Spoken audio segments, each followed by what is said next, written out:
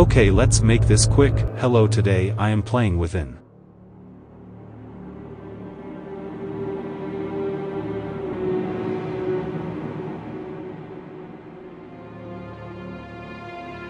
I hadn't heard from my brother in over three months, which wasn't unusual. Nick tends to disappear for months at a time, not returning my calls, and then he surfaces again as if nothing had happened. I've gotten used to it. I don't blame him, considering the childhood we had. I've read somewhere that siblings with shared traumatic pasts tend to grow apart faster when they're adults. Then, last night at around 3 a.m., he left a voice message. I heard it when I woke up a few hours later.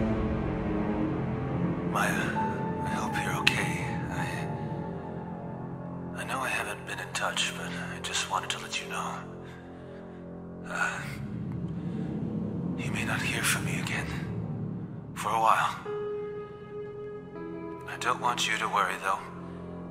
I'm in a spot of trouble, but nothing I can't handle. I'll figure it out. Whatever you do, don't come looking for me. I'll call you when things are right. I know I haven't said this enough, but I. I do love you. Always have. Goodbye, Maya.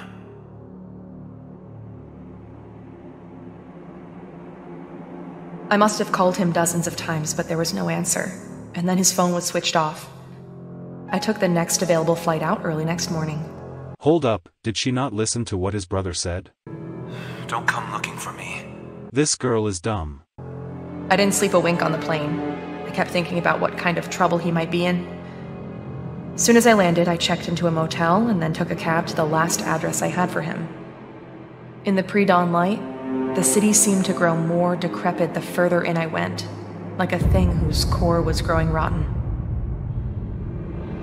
I don't know what kind of trouble he's in, but when we were growing up, after Ma died, when it was just the two of us, he'd come to me when he was in real deep and needed saving.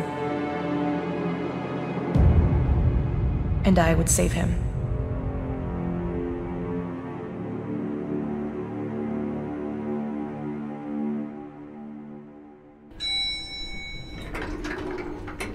I should get this over with quickly. I'll find him, make sure he's okay, then head back. I'm already missing a day at work. Let's see, he should be at apartment 405.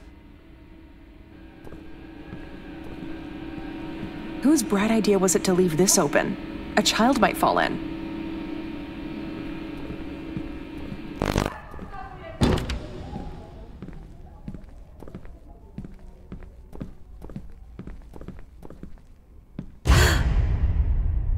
Hello? Huh, where'd they go? There was someone just here. Well, this is it. I should just ring the doorbell, see if he answers. Although, if he's been drinking, I don't have much hope.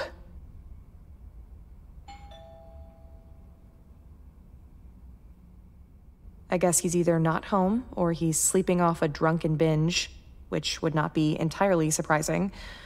Maybe I should just try to open the door and let myself in. Gosh, what is that smell? Nick? Nick, are you here? How is he living like this? This is terrible. I remember that shirt. I think I'd given it to him for a birthday. right, like this is gonna keep me out. Well it should. Didn't know he kept this old picture of Ma. This was taken maybe a year before she died, before the cancer started turning her into skin and bones.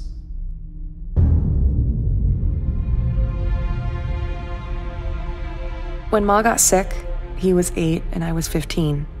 We watched her waste away and die from cancer. We never knew our father.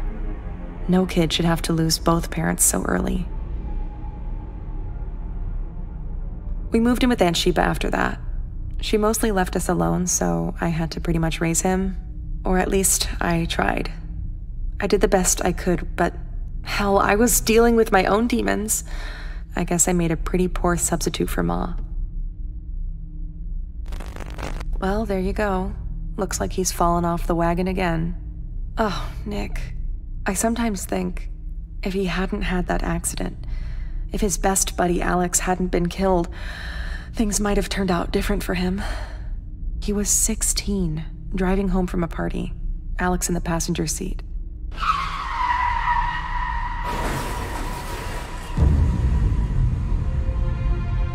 Nick had no business being behind the wheel that night.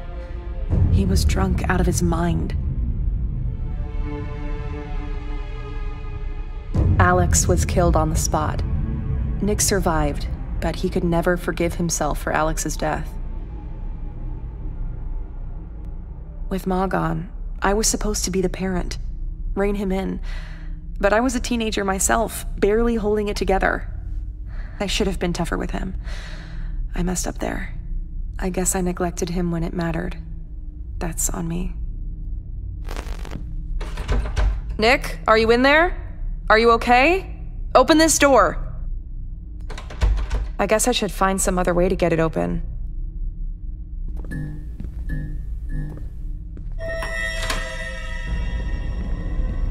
Hello? Nick, are you in there? Jeez. Hello? Hello? How did this door open?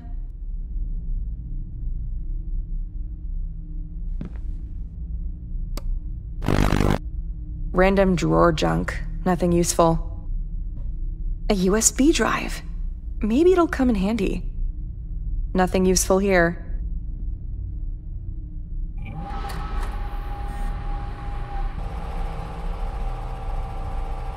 I could probably use the USB drive I found in that drawer.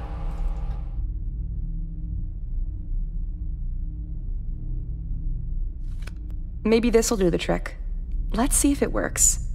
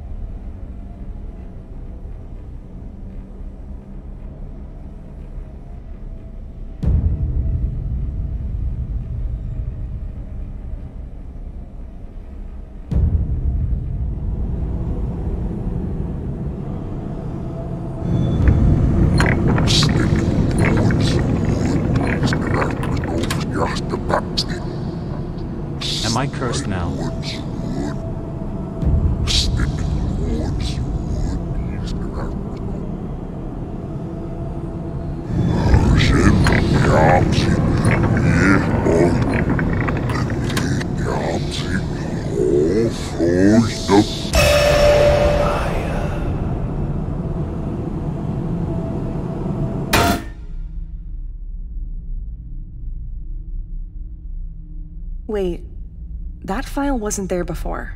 I'm sure of it.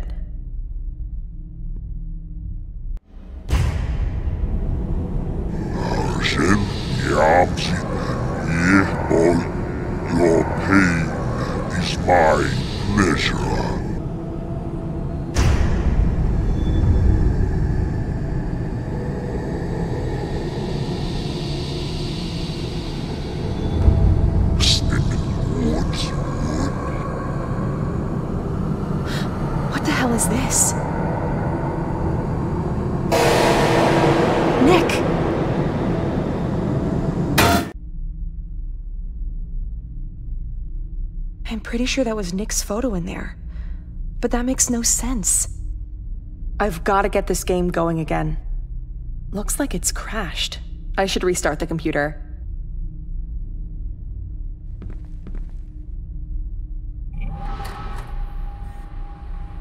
Ah! Jeez, that scared me. Just the lights. The electrics here are falling apart, like the rest of the building.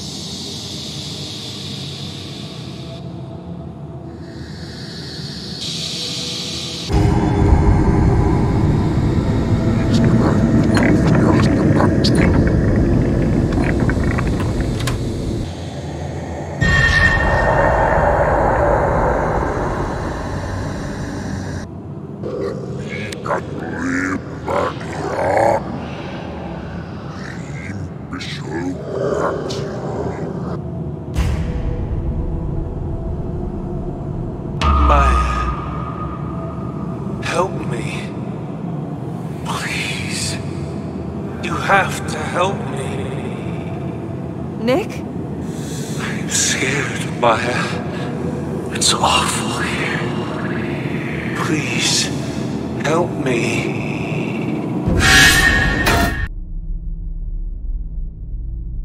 That was Nick's voice, I'm sure of it.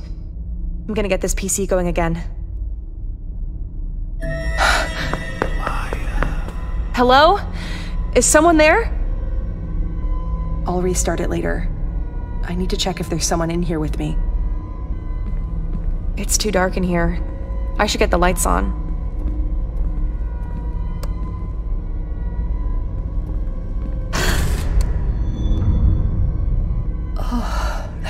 Awful. How could the picture have changed like this?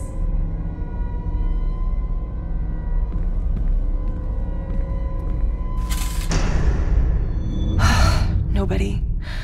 But that's impossible. Nick. But his face. What is happening to me?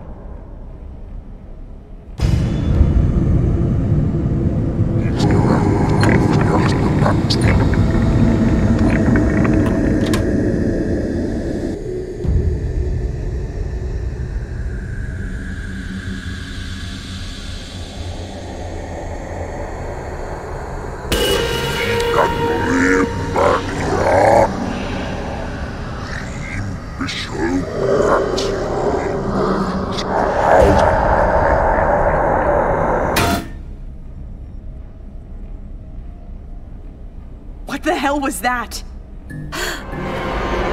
Nick, wait! Nick!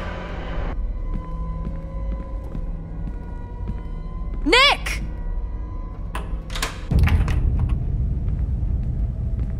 Is she not gonna talk about how this place looks different from before?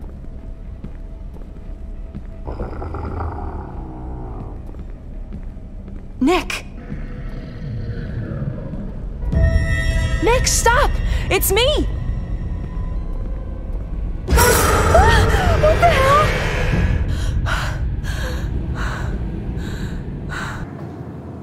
Maya. I'm down here. Come quick.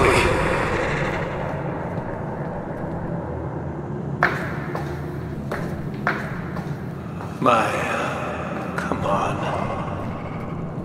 I'm waiting for you, Maya. Where are you? We're all waiting.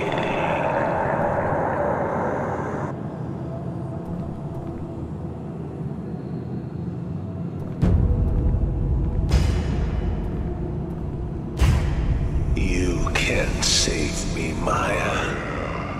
You never could. Even when we were growing up, you couldn't even protect me from myself. The accident, Alex's death, my miserable life, all of it could have been different. If only you'd done what you were supposed to do. Who are you? What have you done to my brother?